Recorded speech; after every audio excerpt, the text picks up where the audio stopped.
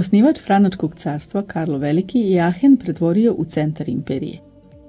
Bio je to njegov omiljeni grad, pre svega zbog obilja termalnih izvora, a i geografskog položaja u centru carstva. Tokom svojih dugih boravaka u ovom gradu, Karlo Veliki ga je neprekidno ulepšavao i bogatio umetničkim delima. Iz tog razloga se u pisanim tragovima tog vremena Ahen spominje kao drugi Rim. U istom periodu je i palata, izgrađena u 8. veku, postala najvažnija građevina carstva.